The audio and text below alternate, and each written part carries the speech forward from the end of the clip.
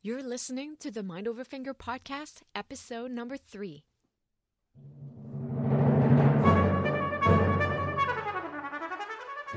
Welcome to the Mind Over Finger podcast discussions on mindful music making, efficient practice, and building a purposeful career.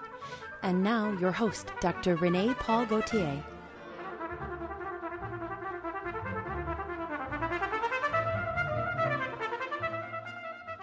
Welcome to the Mind Over Finger podcast. Today I'm chatting with international flute soloist Mimi Stillman.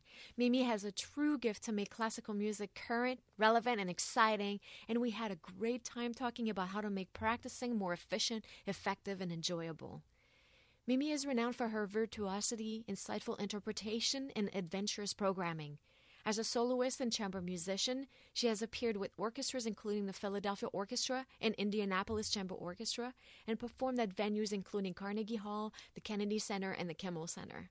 She is the founding artistic director of the popular Dolce Suono Ensemble, who performs everything from Baroque to new music, with 53 world premieres in 13 seasons in Philadelphia and on tour. At age 12, Mimi was the youngest wind player ever admitted to the Curtis Institute of Music, where she earned her Bachelor of Music degree, studying with the legendary Julius Baker. She received an MA and PhD in history at the University of Pennsylvania and is a published author on music and history. She is a wide ranging and innovative artist, and she is highly regarded for expanding the repertoire through her commissions, arrangements, and compositions. I have loved hearing Mimi's insight on music making, and I'm sure you will find inspiration for your next practice session or performance in this episode. Let's go to the show.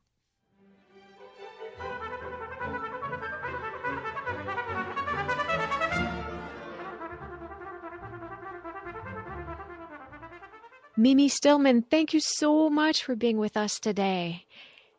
Thank you, Renee. It's such a pleasure to speak with you.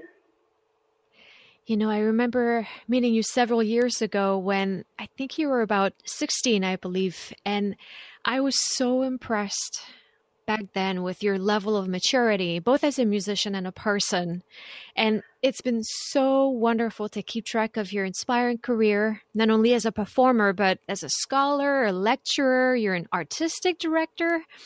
And, you know, I really see you as someone who's truly having an impact and who's shaping the future of the flute repertoire by actively commissioning and performing new works and by championing this new repertoire. It's so great to have you on. Thank you, Renee. It's just wonderful to reconnect with you because, yes, we uh, worked together in Boston many years ago, which was a wonderful experience. And I guess it's just such a nice thing about our music world that it can stay small enough to to meet again, um, so to speak, throughout. That's so true. So, Mimi, in my intro, I spoke about your many accomplishments, and I'm sure I've skipped many. But I would love for you to tell us a little bit about your journey in your own words. So, if you don't mind, can you please talk to us a little bit about how you got where you are and how your artistic path has unfolded? Yes, I'm a flute soloist and chamber musician and founding artistic director of Dolce Suono Ensemble, which is a chamber music ensemble based in Philadelphia. I had a very early start in music. Um, at 12, I was the youngest wind player accepted at the Curtis Institute of Music. Uh, so far, my record still stands, but there are other, many other uh, wonderful young players who attend Curtis. But it was just so uh, life altering in the best possible way to be brought to study at Curtis by the legendary flutist Julius Baker at that age. Um, and then after graduating Curtis, um, I had won uh, the Astral Artists auditions and then the Young Concert Artists International auditions. And so these organizations were very helpful in beginning my performance career.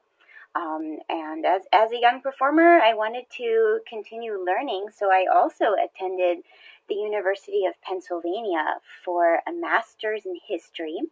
And then I learned so much and really loved it, so I stayed on for the PhD in history. I'm currently ABD or all but dissertation on that, um, and then have really kind of forged a, a very inspiring uh, and perhaps very individual musical path as both a performer and leader of an ensemble and um, scholar because I, I, love combining the historical research and writing with my musical projects.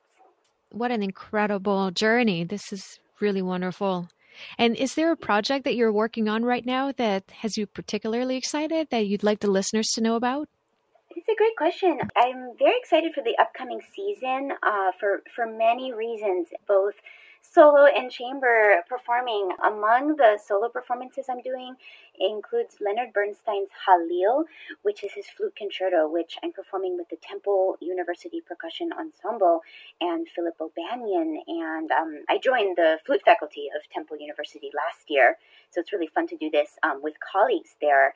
But as part of the global celebrations of the Bernstein centennial, um, I'm excited to learn and perform this piece and record it also soloing with orchestras in Mexico and Annapolis and doing recitals with my longstanding duo partner pianist Charles Abramovic. My Dolce Suono trio, which is flute, cello, and piano. Charlie and I are joined by Nathan Vickery and Gabriel Cabezas. This um, CD uh, represents both cellists, a new CD, American Canvas, where we have four premieres and three of our commissions by Jennifer Higdon, Shulamit Ran, Andrea Clearfield, and Joe Tien. So we're, we're excited to launch that and, and perform music from that on our touring performances. And then our Dolce Suono Ensemble has two new projects that we're launching this season that we also received grants for. Rediscoveries Festival of American Chamber Music. We were honored to receive a grant from the National Endowment for the Arts to do this, and it focuses on American chamber works by composers from Walter Piston, Roger Sessions, Irving Fine, through some of today's composers, Richard Wernick, um, and others, uh, bringing their music to the chamber concert stage. Also, Fall for Chamber Music, which is an engagement project supported by a grant from the William Penn Foundation, and in which, in addition to our regular concert series, we are reaching out to new audiences at some civic venues in Philadelphia. The whole idea is that uh, we want to invite people to share our infectious joy in chamber music, fall for chamber music, fall in love with chamber music. Once you've fallen for chamber music, you will never be the same, is what we are we are um, out there giving the message about. Oh, well, I love that! What an amazing project, and what a wonderfully varied season. That's incredible. Well, it sounds like you're definitely the right person uh, to have lots to talk about in regards to practice and performing. So, how about we dive into chatting about practice a little bit? That sounds great. Mimi, you and I both know that there is so much more to practicing than just playing, that the, the most efficient type of practicing usually involves a great degree of intellectual and physical awareness. This this is what I like to call mindful practice. Now, as you mentioned, you were the youngest player, uh, youngest wind player admitted to the Curtis Institute of Music. Is mindful practice something that was present in your practice early on? What do you think it was about the way you practice that helped set you apart from other young musicians and that made you so successful at such a young age? Yes, well, I was very fortunate. Um, I I got started at a very young age um, by my mother, who, like my father, is a foreign language textbook author and professor. Um, they're co-authors of over 50 books for learning languages, primarily Spanish and French. But she was also a very serious um, amateur clarinetist as I was growing up. And my brother, who's eight years older than me, saw her playing when he was very young and wanted to play the clarinet. So by the time I was a very young child, I was so fortunate to listen to lots of beautiful clarinet uh, repertoire and playing, and then just being taken to concerts by my parents, uh, going to my brother's youth orchestra rehearsals and concerts. I got to hear a lot of great music of all kinds. And so when I was five, my mother started me on recorder and taught me how to read music. And I think recorder is just such a wonderful way for young kids to pick up a musical instrument. I mean, piano or Suzuki strings or just strings are great too. But um, like even a little experiment with my nieces. Um, I think my niece was able to make a sound on the recorder at seven months, so it's quite uh, great to kind of pick it up and learn some basics of music. Um, so within a year of uh, playing recorder, I told my parents that I wanted to play the flute. Uh, so I, around when I was six, uh, my mother found a teacher for me, and I, I started playing flute. That's pretty young for woodwinds, but luckily um, the teacher that I had um, in Boston, where I was born, thought I was big enough and could absolutely start on that instrument. And so I always really loved music. I really enjoyed practice. Um, I don't remember this, but my parents do tell me that I they never had to tell me to practice. So I guess I'm lucky that way. I did enjoy it, but I also had the support of my mother as a fellow wind player, being able to reinforce at home some of the basic woodwind techniques that I was also learning with my flute teacher. And so that continuity I know is very helpful for me as, as a young child. Um, but I think it's wonderful that you, Renee, as both a very distinguished performer and teacher, are focusing on mindful practice with your podcast because yes, how you practice is is so key, and I think um, one of the challenges now that I am also a teacher and I really love working with students is not just how to play the piece of music, but so much more valuable um, to learn as we're learning an instrument or voice, let's say, as we learn music, is how to learn to practice, how to learn new repertoire, um, how to approach both your instrument and the music. So I think it's great you're doing this. Thank you. And yes, thank you for what you just shared. It's absolutely, um, you know, I share your view. And also what you said about this reinforcement by the parents at home is so crucial in these young formative years to have the follow up of these basic techniques that the teacher passes on to the student, but to have someone at home helping with making sure that they are kept in mind as things go. That's so important. Yes, yes, absolutely. And I think in terms of different things, how to practice the nitty gritty, and I know you asked um, about that, there are a lot of things that I find work for me tremendously well that, you know, are, are well known with the practice. I mean, practice slowly is really important. Um, I think at every level of our career, slow practicing is, is key practicing with the metronome. I'm a firm believer in that. I say to my students and students I encounter at master classes, yeah, metronome and tuner, don't leave home without them. Absolutely. I think also, at least in my own practice and what I work with with my students is a lot of exercises and there there are a lot of things that are quite physical probably for all instruments but I know as a wind player the posture and the breathing are crucial so, in my own playing and teaching, I learn a lot from two groups who are not flutists. Number one is singers. Um, I've also had the pleasure of working with marvelous trained opera singers Eric Owens, who sings at the Met, Sarah Shafer, also, who sings, uh, they both sung a lot with my ensemble. Uh, Lucy Shelton, soprano, also has been a returning guest with my ensemble.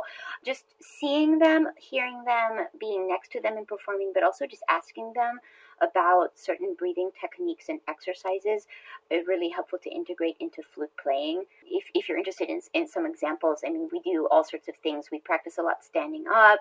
I sometimes, to relieve upper body tension, I and my students, we flop over and let gravity take the tension out of our upper body so that when we stand up again, we are more open at the top. This is something that's really important to do because I think we've probably all been there. You're practicing for several hours.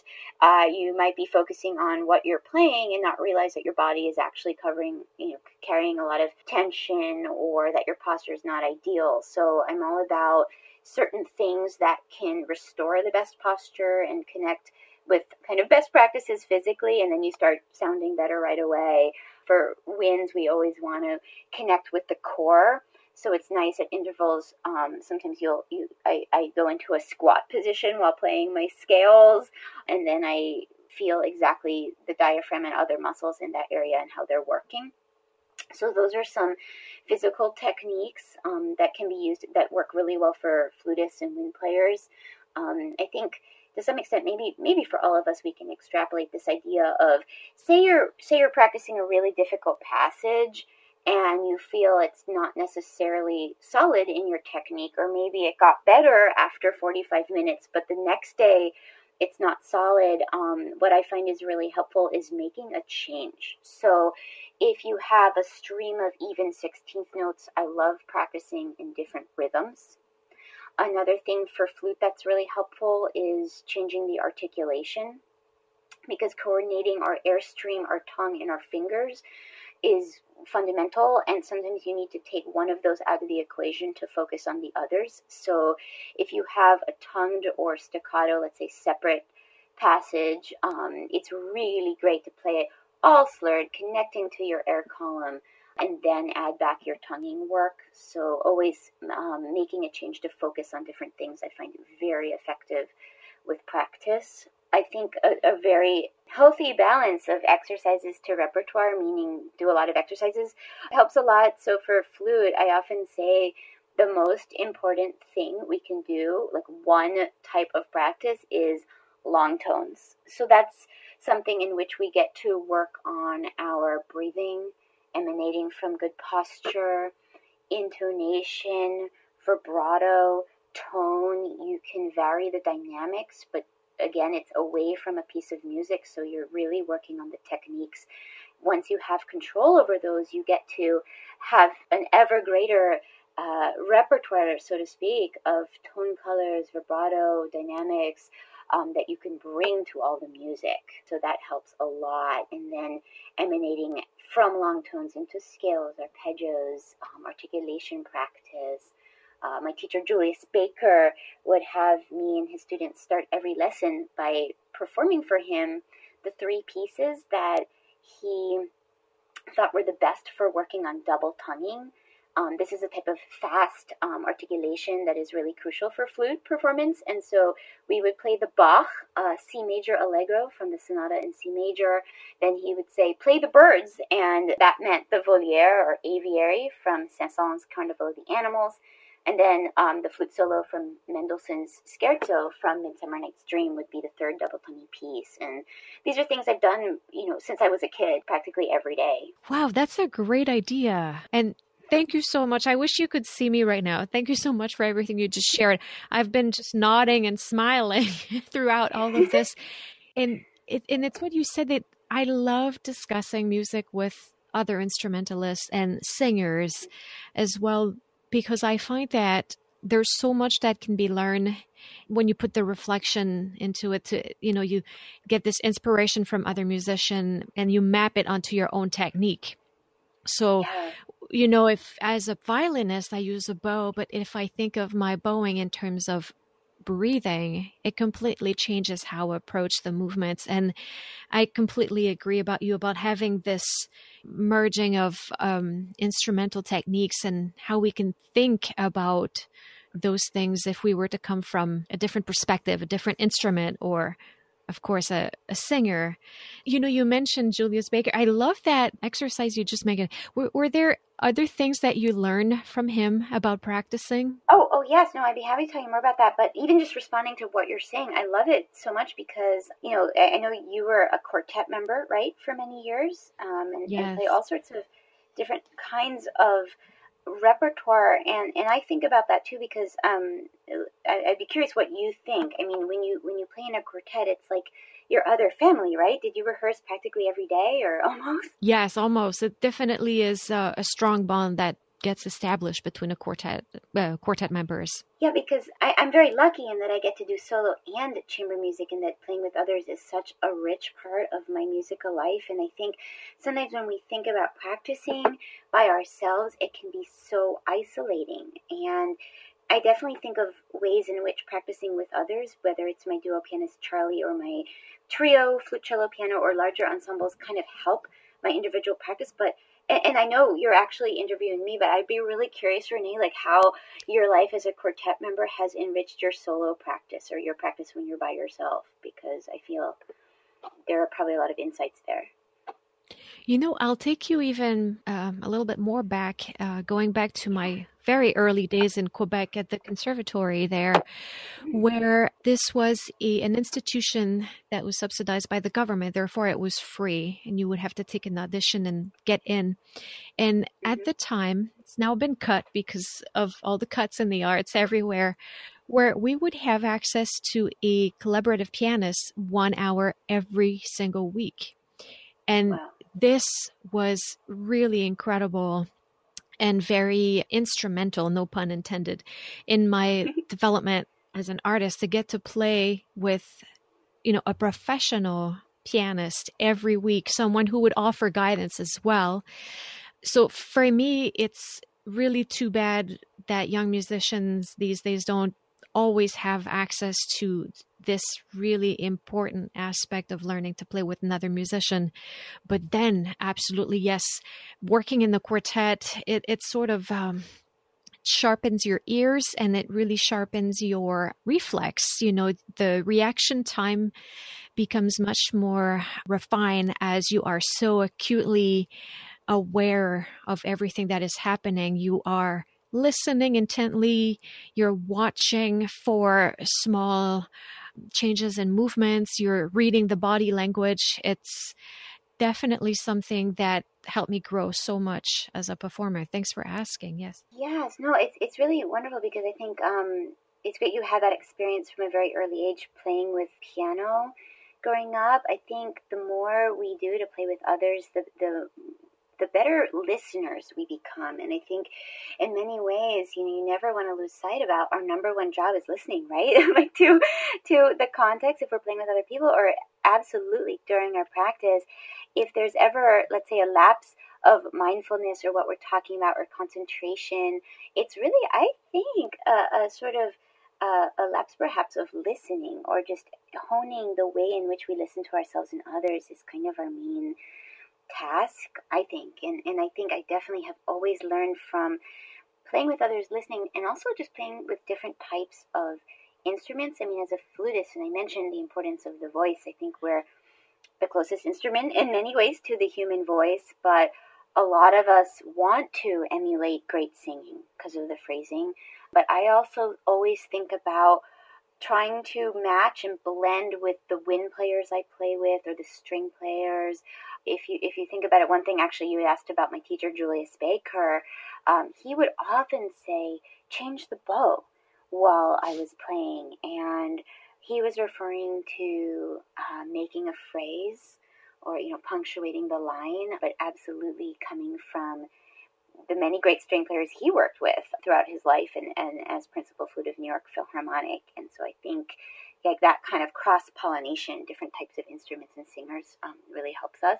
Actually, on a detailed level, what's what's interesting too, I was talking about metronome practice. Um, even just in the past couple seasons, I've had the great pleasure of playing with some wonderful string quartets, um, like the Dover Quartet and the Jasper Quartet.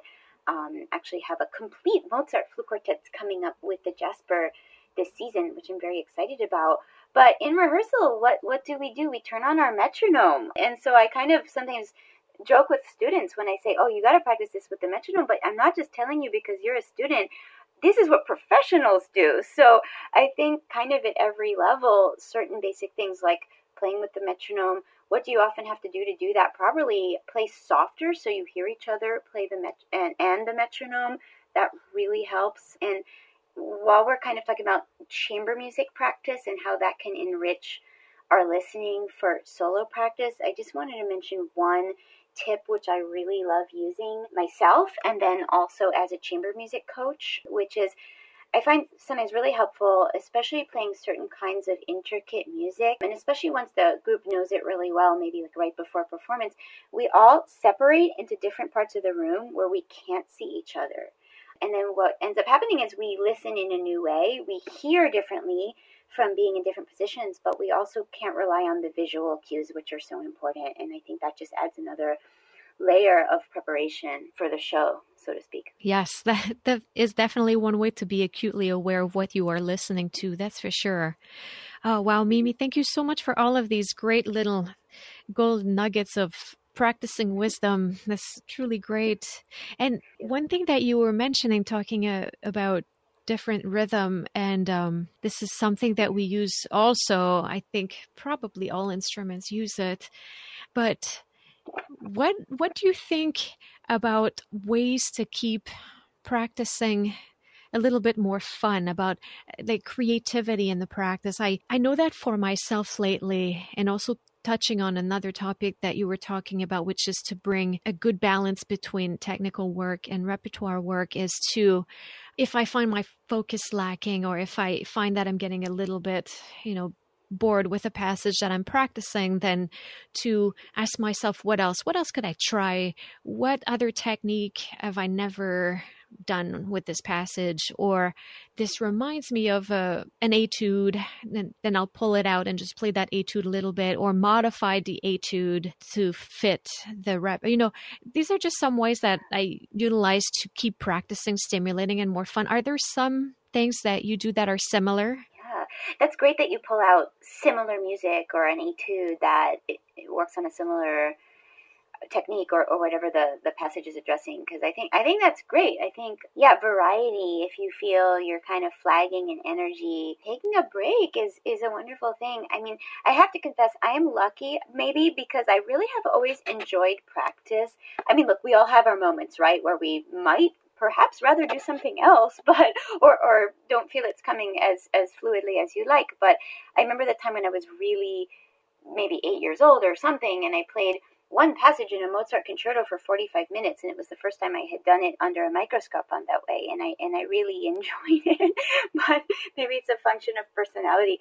But no, I think um, I think you have to stay varied within your practice session. You can easily bog down, and even if you're doing, let's say, these four measures in all the ways you're supposed to do for an hour, then you have to run through or do a larger section. Or what I love too, if the weather is is right, is go play outdoors and listen to nature sounds and be inspired in a new way. I love blending detailed work with run throughs of a whole piece. I think it's really great, especially for students or young musicians who do feel isolated in their practice room, just to kind of put together some family members or friends, run through your piece, especially as, as you get closer to performance, is really helpful to sort of simulate a performance feeling if you've been in the practice room a lot. I think uh, also blending sight reading as part of your day is really helpful. I, I kind of do this with my students. Sometimes we'll play a duet after a grueling lesson. Well, I don't know how grueling, but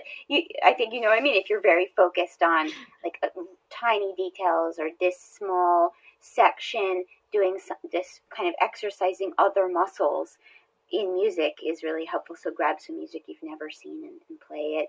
Better yet, if you can do duets with a friend, that'd be even better just to keep flowing. I think musicians are sometimes called the athletes of the small muscles. And I think that's really apropos to a lot of what we're doing. And so I think you want to use all the different muscle groups and all the different skill sets you can. Uh, you know, there's something that you said that I find is quite profound, actually. And now that I think about it, I feel like it is reflecting in everything that you said. It's when you said that you've always enjoyed practicing. And I think yeah. that maybe that's the key to a mindful practice is I am guilty of this as well. You know, I always talk about students doing this, but I do it. Sometimes we pick up the instrument, or maybe not you, but I, I should say I pick up the instrument and I'm thinking about something else and I move my arms for a little bit. And, you know, that's that's not really practicing, but enjoyment of practicing probably means that you are present and really involved uh, physically you know you're listening to yourself well you know you have this intent and this joy in the practice that probably makes it efficient and effective i think that is probably a topic that i want to dig in deeper and deeper in the next few months and i think that's probably what i'm looking after when i try to come up with all of these creative new ways to practice to really renew the enjoyment of practicing.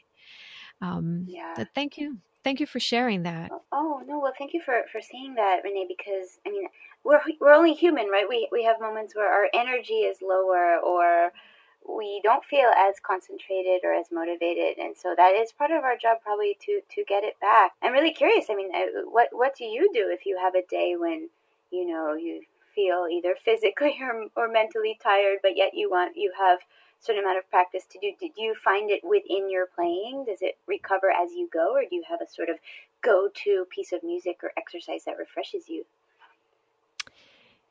I wouldn't say I have a go-to. It's actually the opposite. I and mm. there's many things that I do. I talk to the students about finding new ways to make practicing enjoyable and and that could be anything this is a, a, topic i talk about in in my doctoral dissertation and that i when i speak at conferences i do i do brush on the topic of making practicing enjoyable and for some people it will be having a hot beverage. In my case, it's I just love having a either a cup of coffee nearby, not too much, just enough, uh-huh. but uh, you know, making sure the room is comfortable. But also, mm-hmm. I would say, I yeah, there's not really a specific piece I go to. I would tend to go to the opposite, pull out a technique book that I've purchased a while ago and never opened. I tend to do this a lot. I buy all sorts of technique and etude books that that I don't have time to look into and then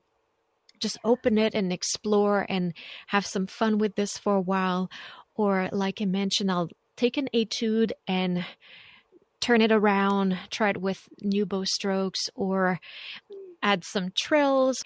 And I really like challenges and maybe you're like me too the professional life as a way of making you focus because there are deadlines and they are usually quickly approaching so you do need to get the work done Eh, so I like to break things apart a lot, take smaller segment and just give myself little goals and say, okay, let's take this section and see how great I can get it in four minutes. And then I'll, you know, and then you tack on another four minutes and another four minutes. And before you know it, you've had a very efficient 30 minutes. And by then, I'm usually rolling and motivated again.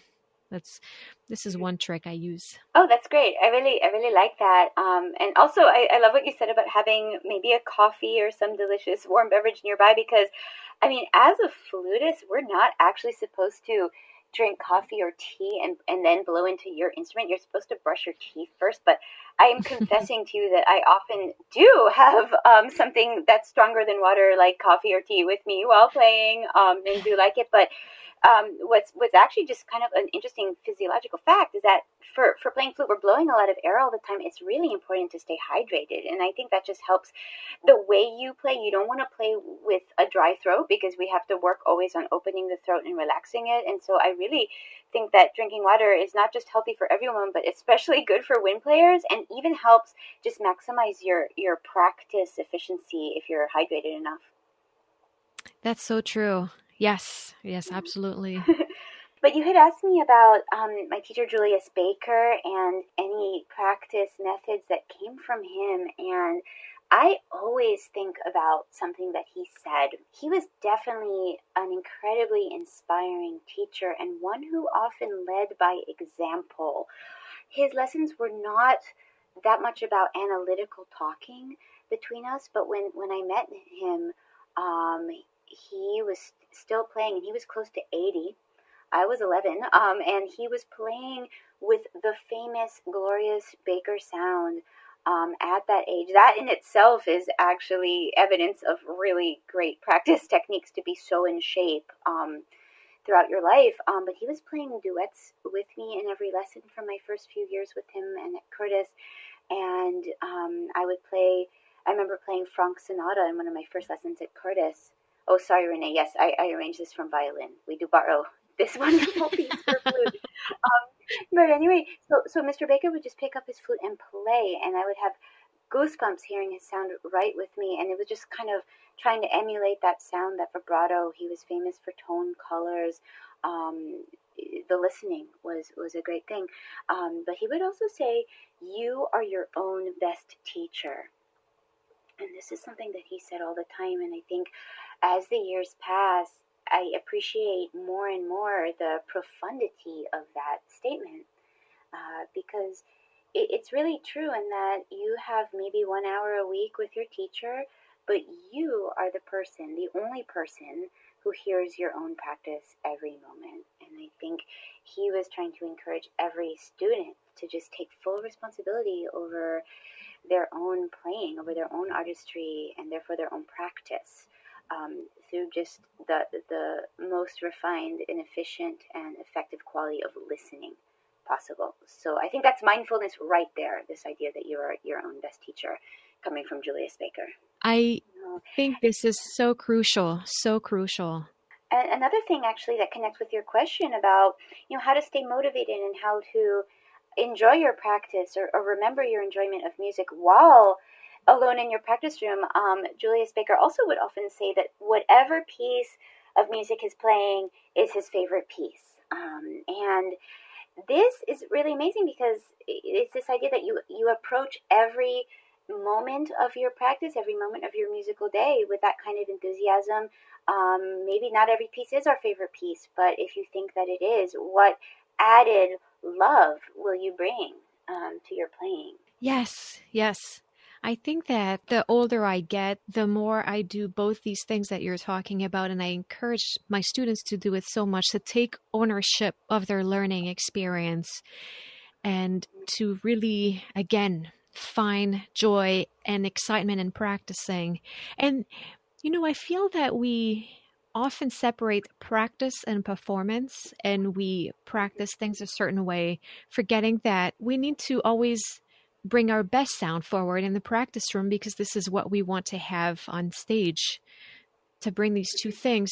So by fostering this, uh, and it goes the other way. So by fostering this joy in the practice room, it will translate in the performance as well. I think this is, um, but I love that. I will try to think of the next piece I'm practicing as my favorite. yeah, it, it, it's such a wonderful approach, I think. Um, but and I think you're right. Also, connecting practice with performance is so important.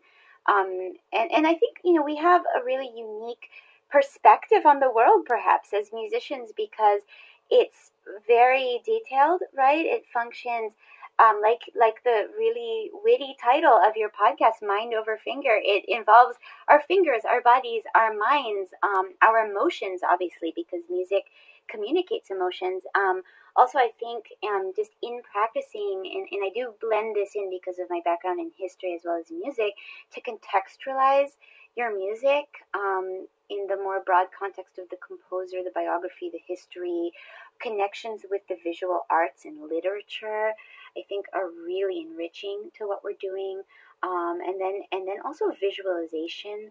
Um, for example, in the flute repertoire, we have a lot of great music that's French. Um, so, for example, not not just Debussy and Ravel, um, but composers who were flutists like Taffanel and Gaubert, um, writing really beautiful morceaux de concours and other repertoire sonatas showpieces um, and chamber music and more.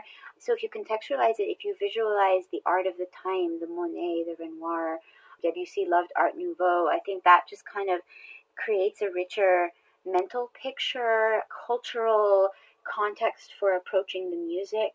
I think also visualization and mental practice are, are very helpful. Um, what can you do when you're not on your instrument that also helps prepare for performance? So I think we have this this great genre, let's say music as a whole, that connects to so many other aspects of human endeavor that it can really help us learn throughout our entire life as artists. Yes, I'm so glad you brought it up. I was really curious about that, how this background and history that you have and this interest, how that contribute to your approach to practicing and performing. And I love how it really helps contextualize everything and bring it to life in a very vivid way. Thank you. Yeah, no, it, it definitely stays, you know, always fascinating. Um, this approach has definitely shaped a lot of my projects as a as a flutist and as artistic director of Dolce Suono Ensemble. Um, we've done projects on Debussy, um, the Mahler 100 Schoenberg 60 anniversaries of these major composers and contextualizing them um, with music and other art forms. Right now, our project for the coming season, Rediscoveries Festival of American Chamber Music, also connects with a lot of other aspects of American history and culture in the 20th century. And then we've done projects on the Holocaust and its music. And one of my recordings is entitled Freedom, and the repertoire on that connects with this universal human need for freedom in, in detailed and specific ways to the music. And so um, that's I, I, find it very stimulating to have extra musical connections along with the music. And that oh. obviously inspires with a sense of purpose or larger purpose along with the detailed practice, I think. Yeah, wow. I love this meeting of humanity and art. I think that is truly wonderful. Well, Mimi, I know you're very busy, and I would like to take you through a rapid round of fire questions before we wrap up, if that's okay with you.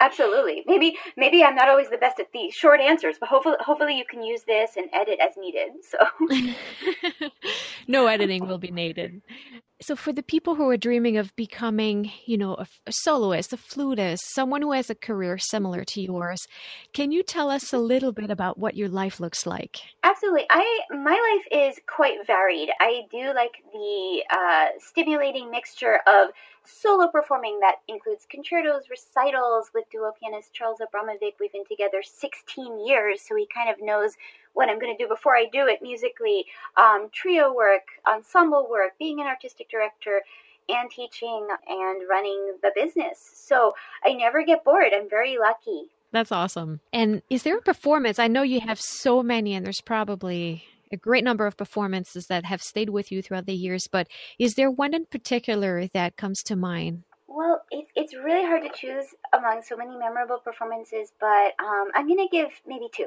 So when, when I was 15, my teacher at Curtis, in addition to Julius Baker, uh, Jeffrey Khaner, principal flutist of the Philadelphia Orchestra, pulled me in to substitute in the Philadelphia Orchestra for the first time in the Brahms Requiem with Maestro Wolfgang Sawallisch and soloists Dawn Upshaw and Thomas Hampson.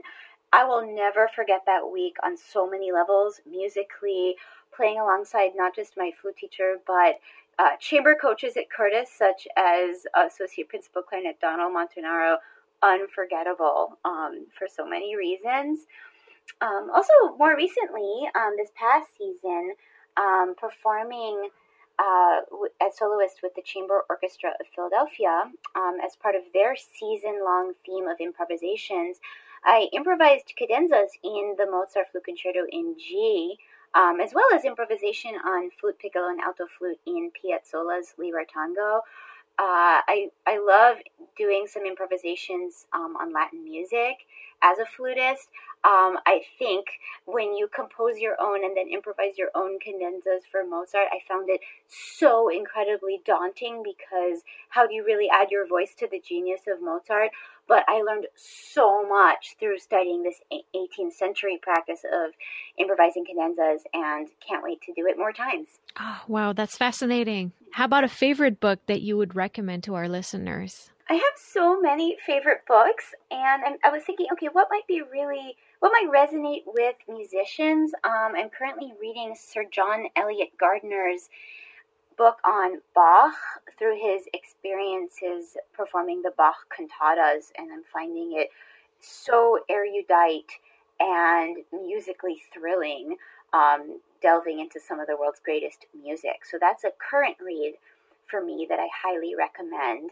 Um, I, I've read a lot of history on themes not necessarily connected to music, but I've always been very much interested in the concept of leadership. Um, and I found the writings of Queen Elizabeth I of England always fascinating because we have some of her writings um, from the 16th, early 17th century, um, and just biographies uh, of of her, of Eleanor of Aquitaine, of Winston Churchill have been fascinating, along with his own writings. Um, and then I also thought I would mention one book, which is actually for children, um, or I guess young readers, by E.L. Konigsburg.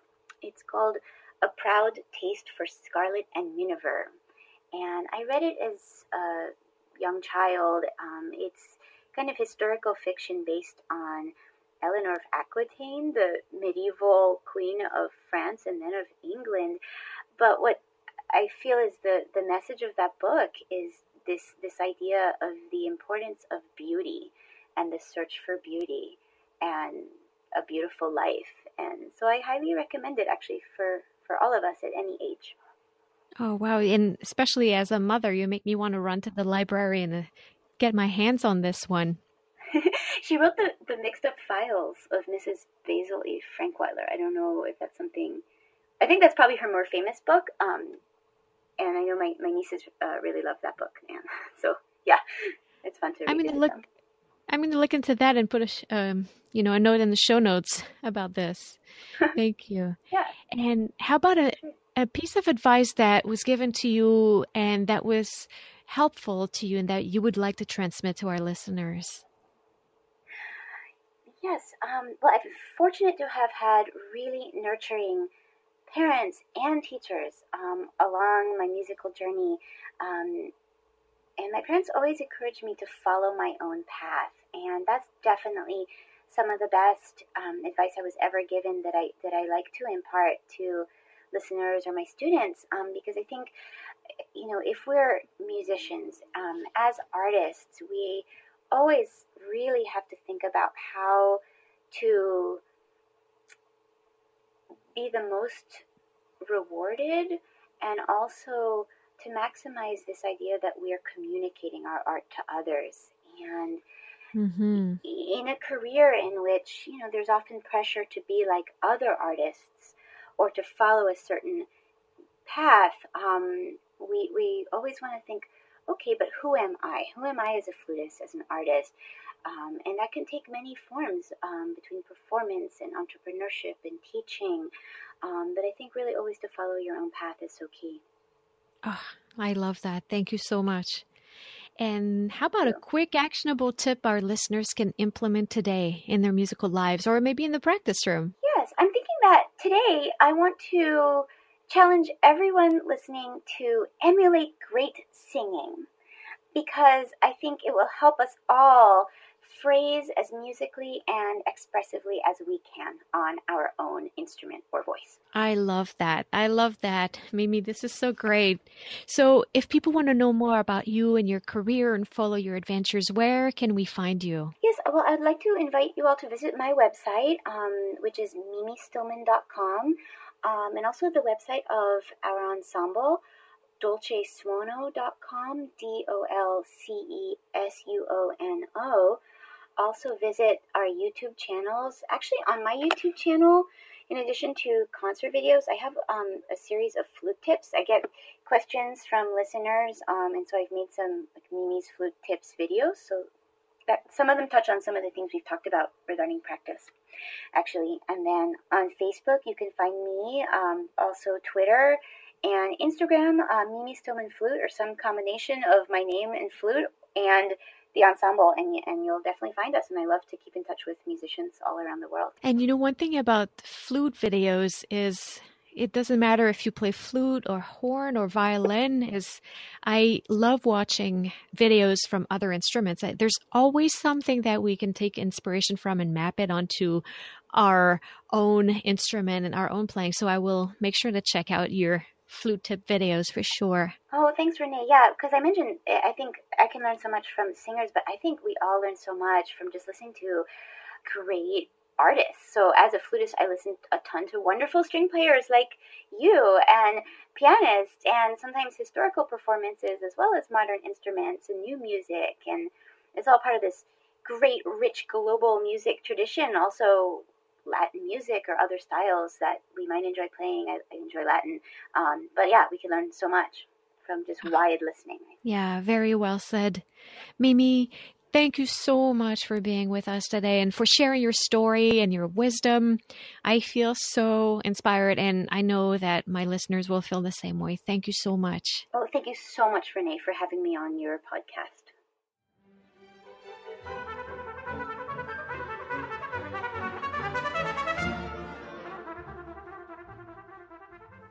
Thank you guys so much for listening. You can find the show notes for this episode at mindoverfinger.com. I would also love to connect with you, so join the conversation on social media. I am Mind Over Finger on all platforms. Let me know what inspires you, what specific questions you have about mindful practice, and what other topics and guests you would like to hear about in future episodes. Next week, I'll be talking to Holly Mulcahy, concertmaster of the Chattanooga Symphony and Opera. Holly and I will discuss her life as an orchestra leader, how she nurtures authentic connection with the audience, and why it is so important for her to champion modern composers. If you have the chance, please take a minute to head over to iTunes to subscribe, rate, and leave a review. It's very much appreciated. Again, thank you, and à bientôt.